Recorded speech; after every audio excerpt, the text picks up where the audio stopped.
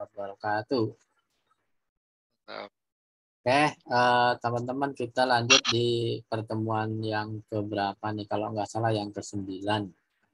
Hmm. Kita di materi tentang uh, teknik pengambilan keputusan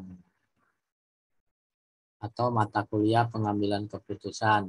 Nah, di sini bentar apakah sudah muncul? Sudah. Sudah, sudah. Baik.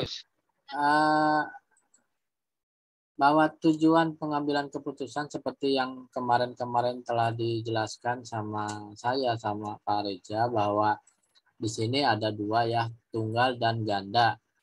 Ya, jadi kalau tujuan pengambilan keputusan secara tunggal, tunggal di sini bahwa sekali diputuskan tidak ada kaitan dengan masalah yang lain. Jadi tunggal istilahnya ya.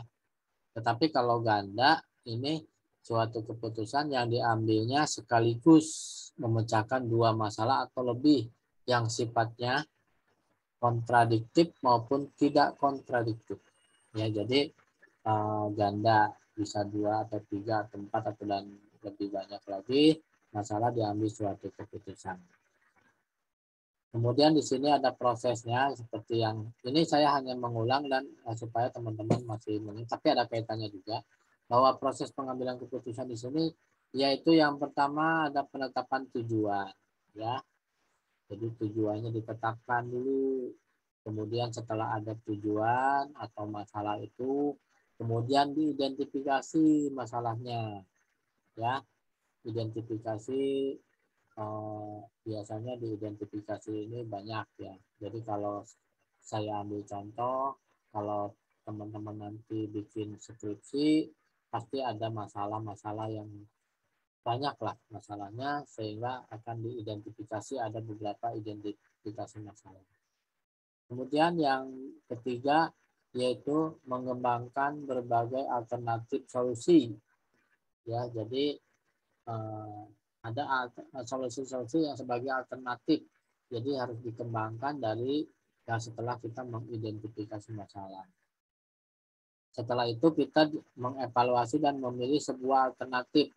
Jadi dari alternatif solusi yang eh, setelah kita kembangkan, kita evaluasi dan kita pilih alternatif mana yang sekiranya eh, mumpuni atau sekiranya cocok untuk diambil suatu keputusan atau untuk mengambil suatu keputusan. Sehingga di sini yang berikutnya itu melaksanakan keputusan. Jadi setelah kita mengambil atau memilih alternatif sebuah alternatif keputusan, kemudian dilaksanakanlah keputusan itu ya tidak hanya udah diambil tetap didiamkan saja gitu tidak ya setelah itu adanya suatu evaluasi pengendalian tindakan koreksi ya setelah kita melaksanakan suatu keputusan dari alternatif yang dipilih kita evaluasi apakah hasilnya akan baik akan lebih baik atau tidak baik nah itu ada tindakan pengendalian atau koreksi ya itu adalah eh, proses pengambilan keputusan. Jadi adanya dari mulai eh, penetapan tujuan, kemudian identifikasi dan seterusnya setelah eh, diambil keputusan atau dilaksanakan, baru adanya evaluasi, eh, dievaluasi ya. Jangan sampai kalau tidak dievaluasi kita tidak tahu apakah keputusan yang diambil itu betul atau enggak, gagal atau enggak gitu ya. Sehingga ada tindakan atau pengendalian tindakan koreksi. Yang berikutnya unsur pengambilan keputusan. Di sini ada unsur dalam pengambilan keputusan itu beberapa pilihan yang tersedia. Kemudian yang kedua, hal-hal yang di luar kendali pengambilan keputusan. Dan yang ketiga adanya hasil dari keputusan yang kita ambil. Jadi tadi dari beberapa pilihan yang tersedia kemudian eh, diambil suatu keputusan ya Eh, kemudian adanya hasil. Itu adalah unsur dari pengambilan keputusan. Kemudian di sini ada tahapan pengambilan keputusan dari informasi awal. Di sini ada beberapa. Ada tahap deterministik, ya, kemudian lanjut ke tahap probabilistik, tahap informasional, kemudian diambil suatu keputusan, ya. Kalau memang sudah cukup dilaksanakan atau tindakan, kalau belum cukup balik lagi ke in, atau informasinya belum cukup kembali lagi ke tahap deterministik. Makanya di sini ada keterangan bahwa tahap deterministik atau penentuan adalah merupakan penentuan variabel yang mempengaruhi keputusan, saling dihubungkan dan ditentukan nilainya. Ya, jadi berawalnya dari deterministik ya. Jadi dari deterministik kemudian yang eh, lanjut ke tahap probabilistik.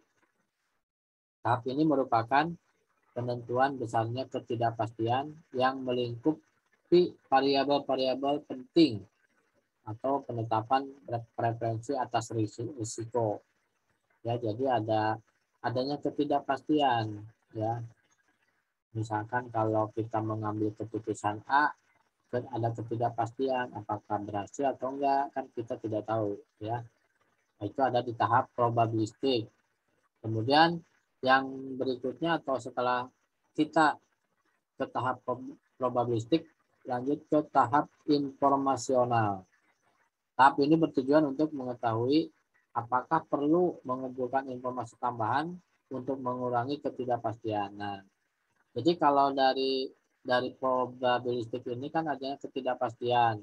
Kalau serasa atau dirasa kurang di tahap informasional itu ya baru diketahui apakah perlu mengumpulkan informasi selanjutnya atau tidak. Makanya di gambar ini setelah informasi di sini ada larinya ke apakah ke keputusan untuk ditindakan atau keputusan untuk mengumpulkan informasi kembali kalau sekiranya informasi di sini masih dirasa kurang atau tidak uh, mencukupi atau tidak mumpuni ya. Jadi kalau yang namanya kenapa harus informasinya harus betul-betul uh, banyak atau bagus atau uh, uh, sesuai. Karena apa? Karena keputusan semua keputusan yang diambil itu akan menimbulkan suatu resiko ya.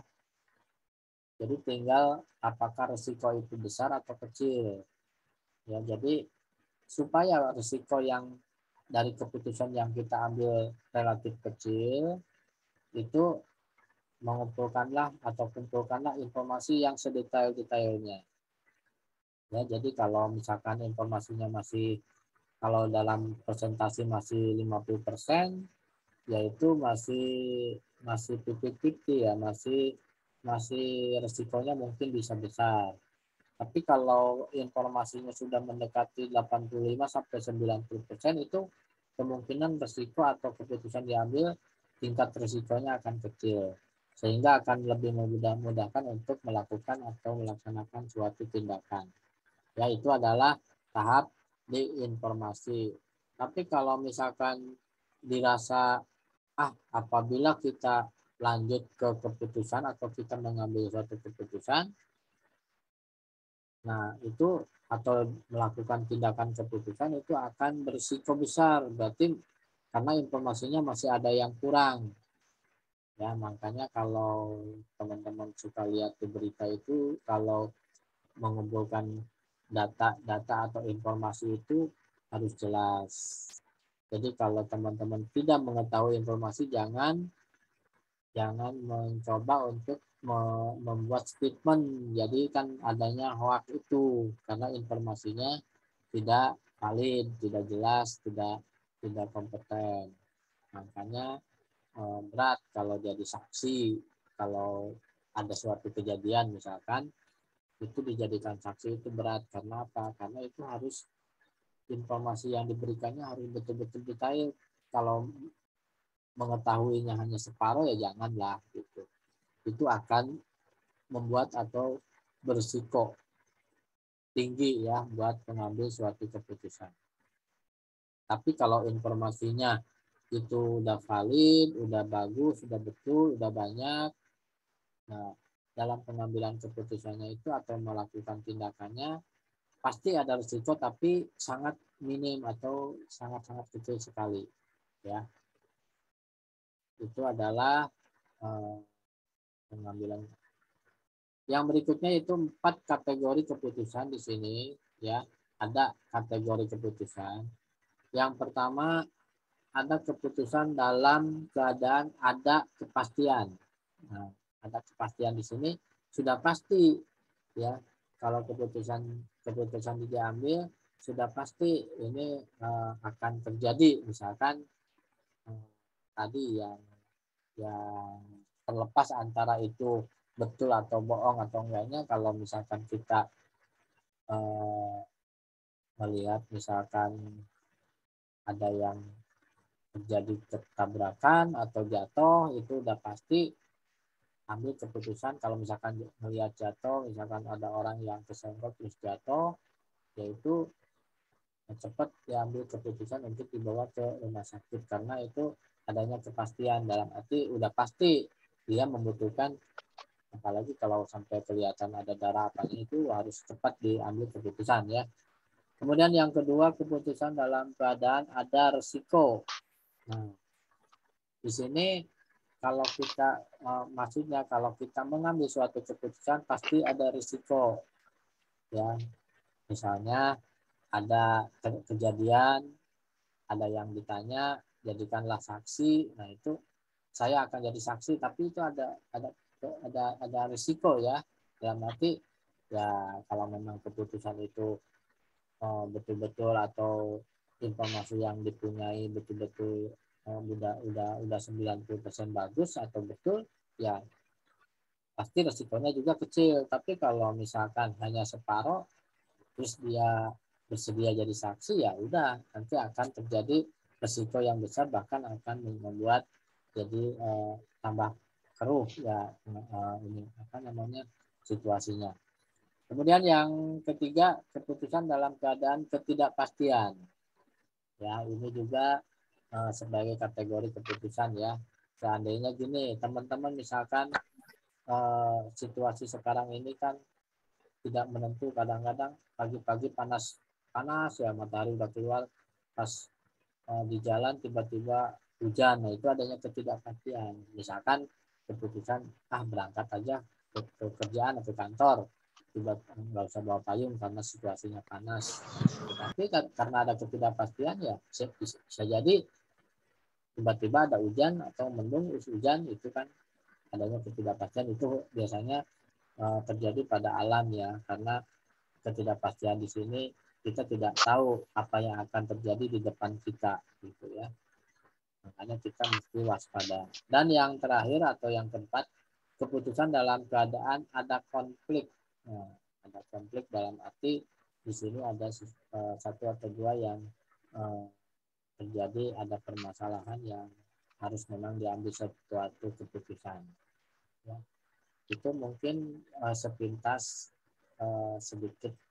Masih ada beberapa slide tapi silakan ada yang mau menambahkan dulu atau Pak Reja mungkin mungkin bisa menambahkan. Itu gambarannya. Silakan. Okay. terima kasih. Terima kasih Pak Indah. Jadi bagus sekali tadi beberapa uh, proses ya dalam pengambilan keputusan jadi saya menambahkan sedikit sebelum nanti teman-teman mahasiswa boleh mengajukan pertanyaan juga. Uh, kita baru kemarin menyaksikan ada Formula E ya di Jakarta di Ancol. Itu kalau kita lihat proses pengambilan keputusan yang dilakukan oleh pemerintah DKI itu bersama dengan DPRD. Jadi tentu semua mahasiswa tahu kalau bicara pemerintah dalam undang-undang dasar negara kita itu bukan hanya kepala negara dan kepala daerah dalam hal ini, tapi juga pemerintah dan rakyat. Dalam hal ini Dewan Perwakilan Rakyat, baik di tingkat nasional maupun di tingkat provinsi. Jadi pemerintah itu bukan presiden satu orang semata, tapi presiden dan Dewan Perwakilan Daerah. Kenapa? Karena dua pilar ini yang memungkinkan sebuah keputusan, satu kebijakan bisa diambil dan diimplementasikan tadi Pak Indah sampaikan keputusan yang telah diidentifikasi, telah dirancang, diputuskan, diimplementasikan. Nah, Formula E DKI ini atau itu sebenarnya sudah diputuskan bersama bersama dengan DPRD Provinsi DKI. Kalau enggak, mana mungkin anggarannya bisa di, digunakan atau diterbitkan. Nah, tapi kan kita lihat belakangan misalnya ya, ini keputusan yang kita bahas ini ada dua, ini keputusan bisnis dan keputusan politik ya. Karena bisnis yang politik ini selalu ada kaitannya. Nah, tadi Pak Indah sudah banyak menyampaikan proses keputusan yang lebih berkaitan dengan operasional kehidupan sehari-hari maupun dalam bisnis. Nah, yang politik ini kan udah diputuskan. Tapi kemudian kenapa kok dipermasalahkan lagi keputusan itu? Setidaknya kita lihat yang mempermasalahkan misalnya yang duduk dalam parlemen Jakarta itu kan salah satunya dari PSI ya. Dalam hal ini ketua yang sekarang namanya Giring Giring Niji ya, vokalis Niji. Tapi karena dia mungkin tidak pro kepada pemerintah provinsi, bahkan oposan, lalu kemudian melakukan kritik yang tidak sesuai dengan apa yang sudah diputuskan di parlemen bahwa di sana mereka tidak setuju tapi setelah voting dan dimenangkan oleh yang mayoritas, jadi mereka nggak boleh lagi sebenarnya uh, melakukan uh, penjegalan atau batch promotion terhadap apa-apa yang sudah diputuskan sudah menjadi keputusan bersama, yaitu pemprov atau gubernur dengan DPRD. Jadi di sini kita lihat bahwa tindakan Niji, eh, Niji Giring ini sejak dari membuat video yang meng, yang meragukan Formula E bisa selesai, bisa sirkuitnya dalam waktu dekat dan bla bla bla. Nyatanya kemarin sudah terselenggara dengan baik dan tidak ada eksiden apa-apa dan semuanya telah diberitakan di 150 negara, betapapun ada yang bilang youtuber juga bisa. Tapi ini kan sebuah kerja yang tidak simsalabim. Nah, yang ingin saya sampaikan ilustrasi di sini adalah jangan sampai sebuah keputusan yang telah diambil oleh pihak pihak-pihak yang ter, terkait itu kemudian tidak solid. Setelah keputusan itu disepakati gitu loh bahwa kita awalnya tidak sependapat itu soal sebelum keputusan diambil. Tapi setelah keputusan diambil nggak boleh lagi pendapat pribadi atau pendapat golongan atau pendapat fraksi masih juga dibawa-bawa ke ranah publik. Itu sudah nggak laku lagi. Mestinya sudah merupakan satu keputusan yang sudah diambil secara formal. Ini nggak benar, itu nggak dewasa. Artinya keputusan sudah diambil, tapi eh, sikap eh, pribadi atau sikap fraksi yang ikut dalam proses pengeluaran masih tetap aja membang, apa, menunjukkan oposisi yang tidak sesuai dengan keputusan itu. Ini namanya sebuah blunder atau sebuah tindakan yang tidak dewasa dan ya orang mungkin maklum karena ini vokalis tiba-tiba jadi politisi gara-gara ada partai baru. Jadi sekali lagi dalam bisnis juga begitu, jangan sampai pemegang saham atau para direksi pada saat proses pemutusan masing-masing pihak punya pandangan, kemudian mungkin pandangan satu beda dengan yang lain, kemudian harus di voting misalnya, kemudian setelah voting dan disepakati salah satu dari keputusan alternatif, maka yang lain tidak boleh kemudian ketika yang dilakukan itu tidak berjalan mulus di awalnya atau mungkin di tengahnya, jangan lalu komentar dulu kan saya udah bilang jangan itu yang saya kasih tahu aja baru nggak mau dengar omongan saya sih, nah itu nggak nggak perlu di, disampaikan kembali itu namanya sudah tidak fair namanya karena keputusan sudah diambil kok malah balik ke pendapat awal sudah nggak benar. Itu Kang Inda kira-kira tambahan ilustrasi uh, contohnya. Silakan mungkin ada pertanyaan lain dari mahasiswa atau ada lanjutan.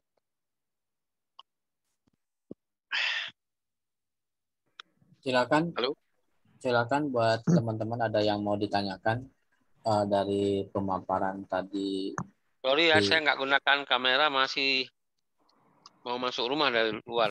Iya Pak. Silakan ada yang ditanyakan dari pemaparan tadi Pak Reja dengan saya atau ada yang masih belum silakan. Karena kalau kita mengambil suatu keputusan itu adalah hal yang positif tetapi memang eh, akan adanya atau akan berimpak pada risiko yang akan terjadi.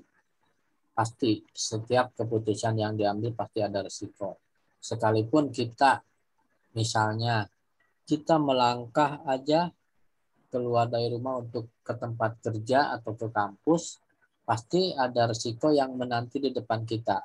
Ya resiko ini bisa bisa resiko yang yang uh, apalagi kalau keputusan salah milih jodoh ya lebih apalagi keputusannya salah ya misalkan mau tujuan misalkan sekarang harusnya masuk ke kerja tapi ambil keputusannya yang lain yaitu udah salah. Pasti ada risiko. Risikonya apa? Di tempat kerja pasti kena sanksi ya.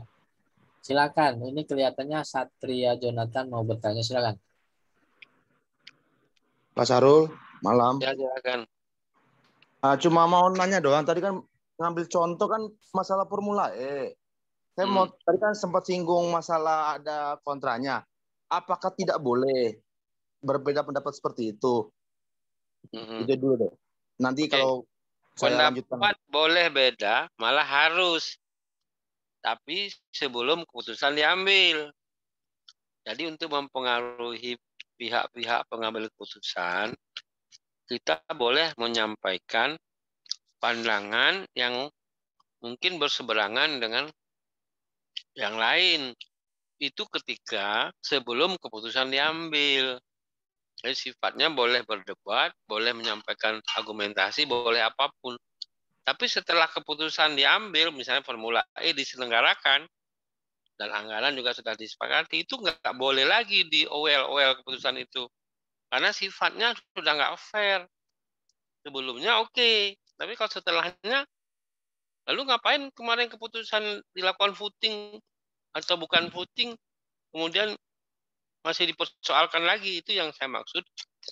Jangan begitu kalau kalian besok dalam sebuah organisasi atau dengan komisaris dengan direksi sudah sepakat tapi keluar dari ruang rapat masih ngedumel ini itu wah itu bakal bakal selesai itu perusahaan. Kalau ah, ini karena ruang hmm? kalau ruang publik kan mencari apa ya mungkin dukungan atau besok terpilih lagi itu urusannya tapi jangan yang sudah diputuskan masa masih di ewel-ewel lagi itu tidak dewasa dalam proses pengambilan putusan tersebut. Jadi beda sebelum dan setelah keputusan diambil, berbeda iya. pendapat. Berarti kan hal ini kan tadi kan ngambil contoh Formula E. Saya ngambil langsung dah konsepnya sama, kasusnya sama dengan apa yang sudah baru-baru ini terjadi di Mandalika.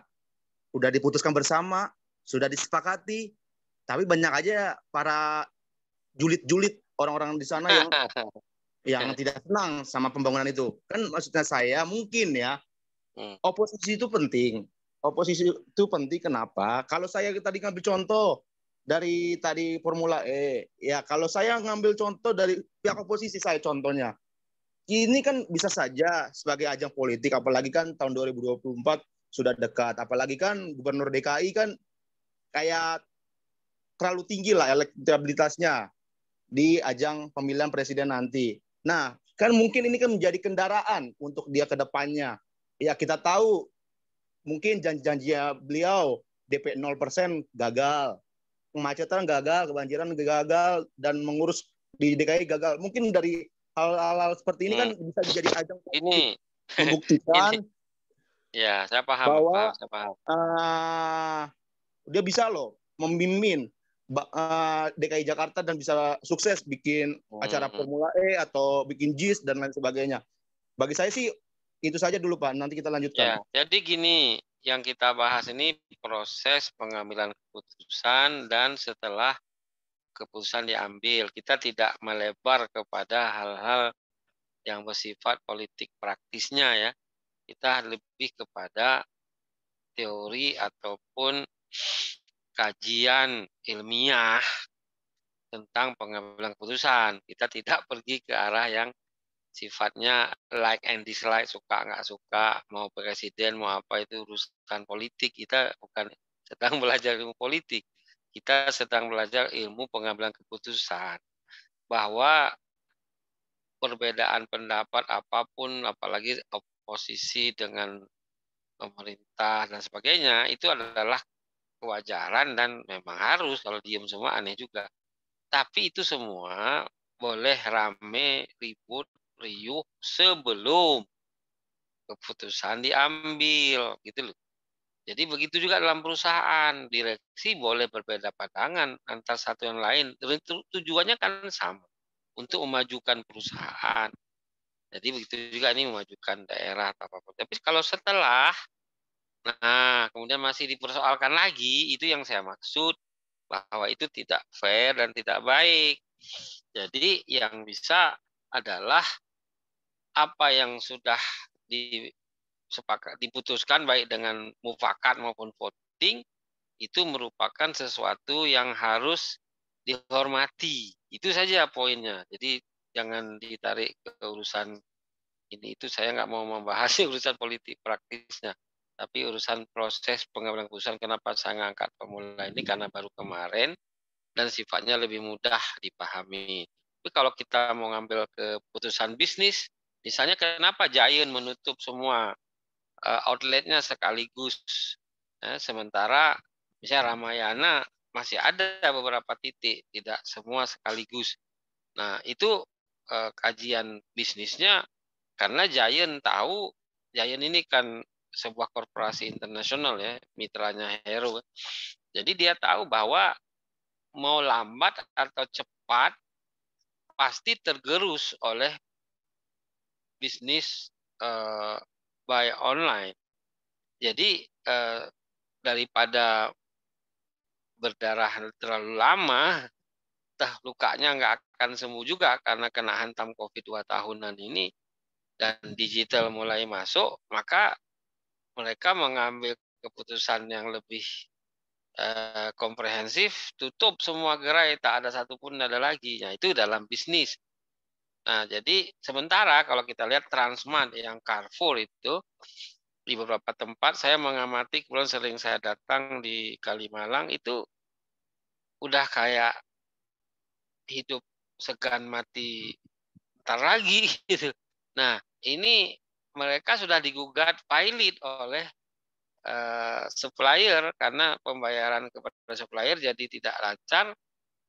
Tapi kemudian si pengelola Citycorp anak perusahaan trans itu juga beralasan karena mereka mengalami kerugian COVID bla bla bla akhirnya kan digugat ke pengadilan niaga supaya dinyatakan anak perusahaan Citycorp yang mengelola swalayan supaya dinyatakan bangkrut.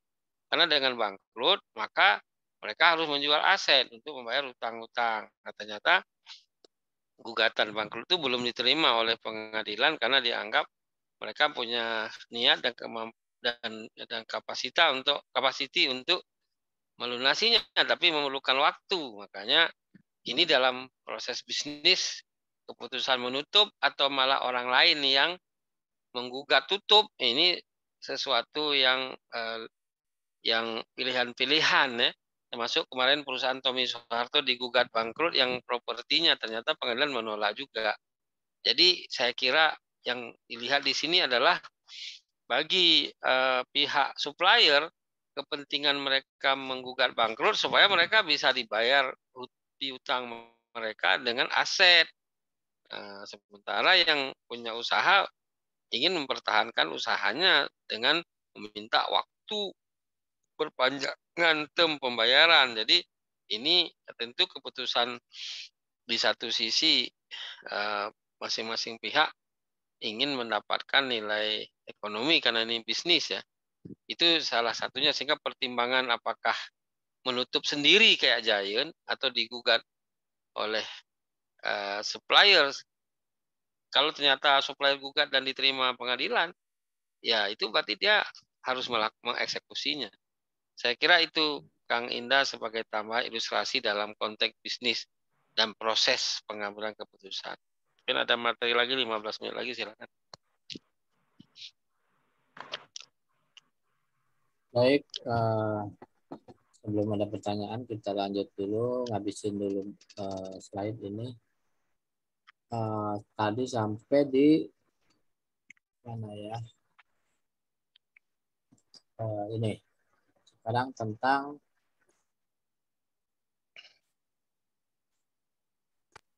ini ada teknik pengambilan keputusan kelompok. Nah, jadi kalau kita bicara tentang pengambilan kelompok atau pengambilan keputusan kelompok di sini, yaitu uh, bahwa dilakukan oleh kelompok. Pasti ya, sudah jelas kelompok dapat berbentuk panitia, bisa berbentuk tim, gugus tugas, komite, dan lainnya. Perbandingan antara keputusan individu dengan kelompok memerlukan kriteria seperti akuritas keputusan, ya. kemudian kreativitas, kemudian adanya komitmen dan penerimaan, dan terakhir ada waktu dan biaya. Itu eh, eh pengambilan atau perbandingan antara kebutuhan individu dengan kelompok ya kriterianya. Kemudian ada teknik brainstorming. Di sini adalah untuk mendapatkan banyak ide dari sekelompok manusia dalam waktu yang singkat ya. Jadi eh, ada kan mungkin teman-teman sering dengar eh, brainstorming gitu ya. Jadi eh, mendapatkan ide dari orang-orang atau dari manusia lain atau dari teman-teman yang lain dalam waktu singkat sehingga kita bisa dijadikan informasi untuk mengambil suatu keputusan. Dan yang ke eh, berikutnya yaitu teknik Delphi, yaitu mengkombinasikan informasi dan wawancara dari para pengambil keputusan dengan menghilangkan kelemahan interaksi tetap muka atau bisa berbentuk kuesioner.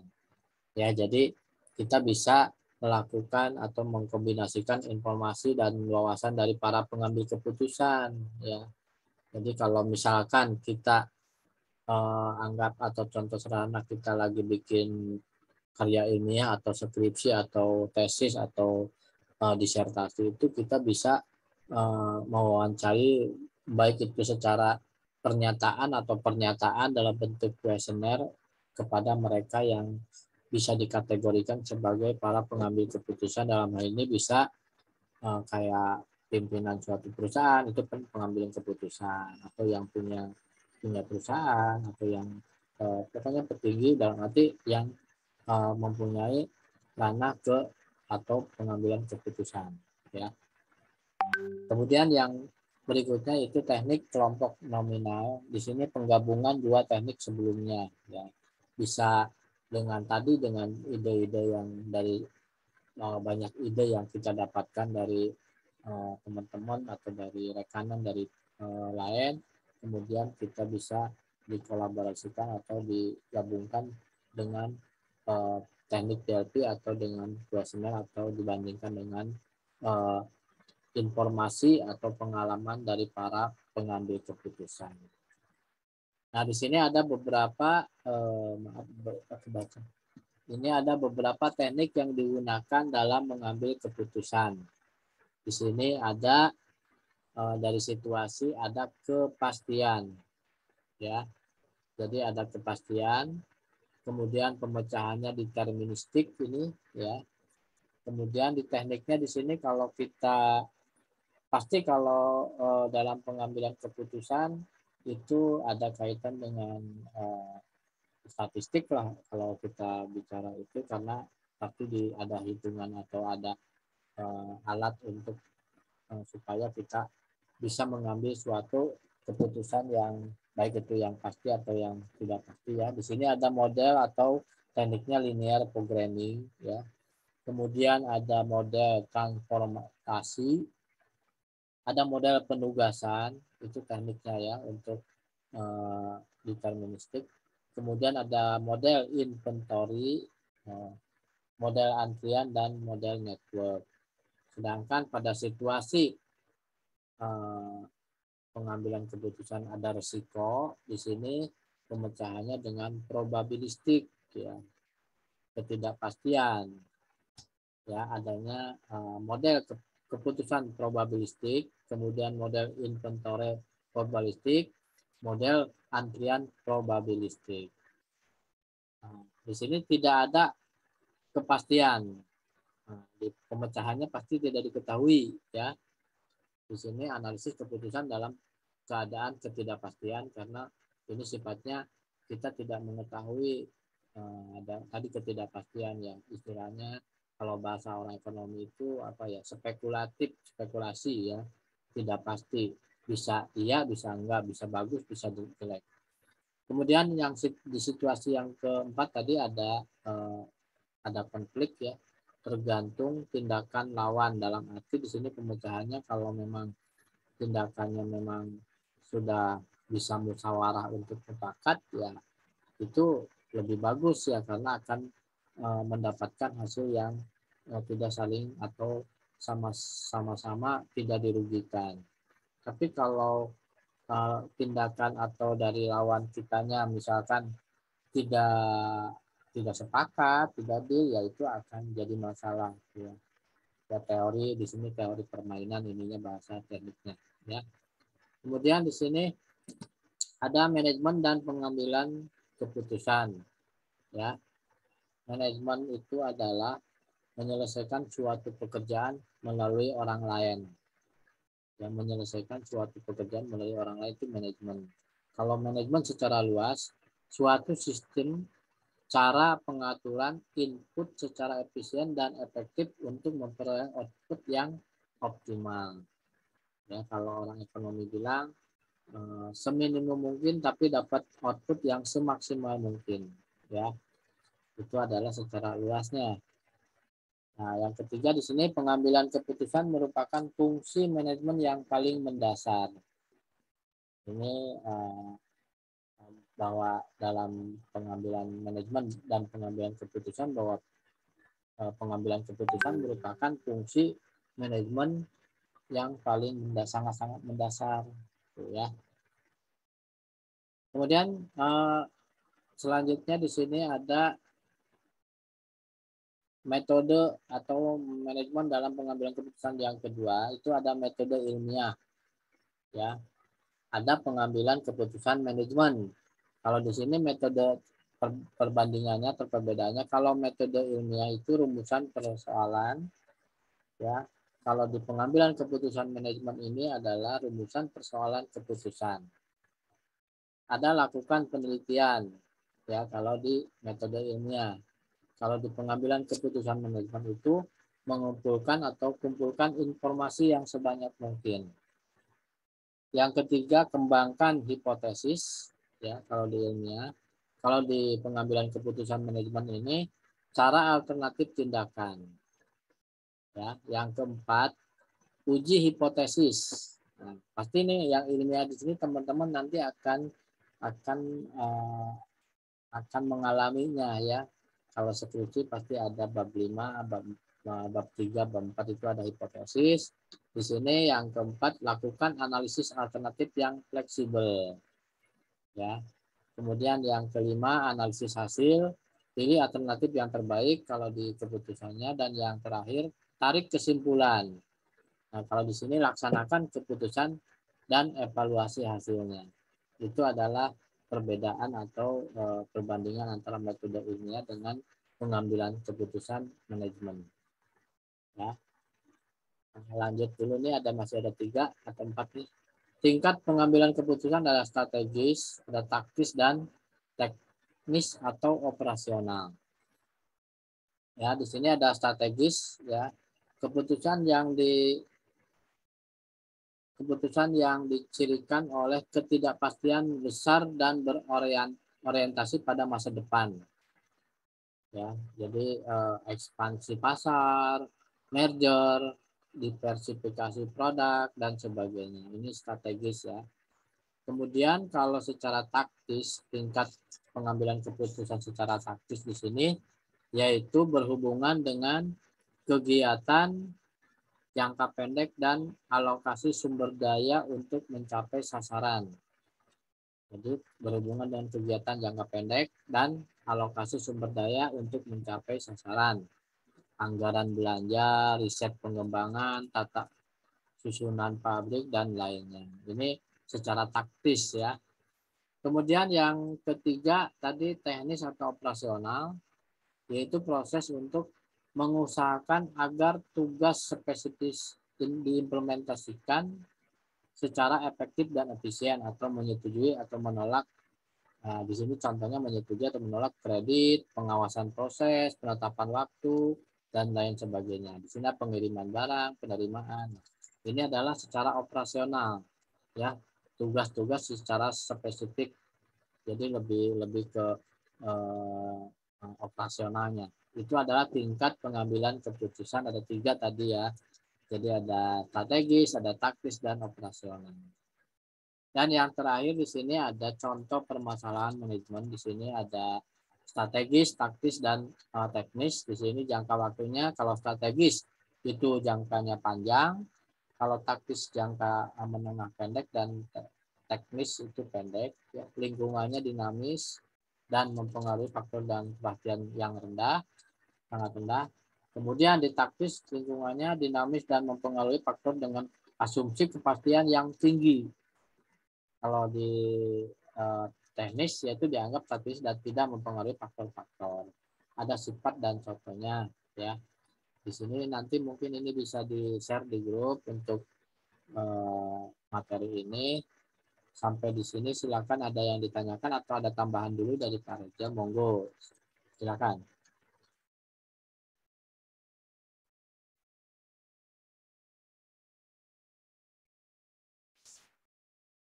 Halo, Pak Reja kelihatannya live. Ya, silakan ada yang ditanyakan sampai di sini buat teman-teman. Silakan ada yang ditanyakan tadi jadi intinya kalau kalau kita bicara tentang pengambilan keputusan ya itu uh, bisa secara strategis, tingkat pengambilannya bisa taktis dan bisa operasional ya. Jadi kalau kalau misalkan taktis di sini tadi atau strategis di sini adanya ke dicirikan dengan ketidakpastian. Kalau taktis jangka waktu pendek, sedangkan secara operasional atau teknis yaitu secara teknis namanya mengusahakan agar tugas spesifik diimplementasikan secara efektif dan efisien. Ya, jadi kalau misalkan di suatu perbankan, misalkan bagian operasional itu tinggal, oh ini menolak kredit karena memang tidak sesuai dengan uh, kriteria yang ada atau menyetujui. Nah, ya itu adalah di tingkat operasional. Silakan ada yang ditanyakan sampai di sini. Waktunya tinggal berapa menit lagi, monggo. Silakan teman-teman.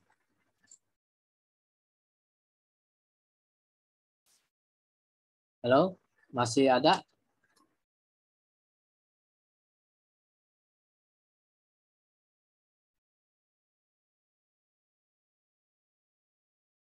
Oke, kalau tidak ada yang ditanyakan mungkin sampai di sini karena memang eh, kalau kuliah kalau tidak ada interaksi, tidak ada diskusi kayaknya kurang rame. Ada yang ditanyakan dulu silakan teman-teman. Eh, nanti eh, rekaman itu akan di-share di di grup. Mungkin nanti sama Pak Reja yang share. Oh, silakan. Ilu mau bertanya Ilu? Enggak. Silakan yang lain. Ada yang ditanyakan atau ada masukan? Atau mau buka kamera dulu buat di screenshot?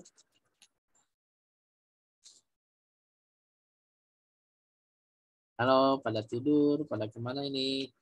Kalau tidak ada mungkin sampai di sini dulu. Uh, nanti rekaman akan di-share di grup sama materinya sama uh, sama Pak Reja. Eh, kurang lebihnya mohon maaf. Kalau ada yang ditanyakan misalkan tidak lewat uh, Zoom, bisa di grup boleh ditanyakan nanti saya akan tanggapi ya. Oke, sampai di sini. Assalamualaikum warahmatullahi wabarakatuh.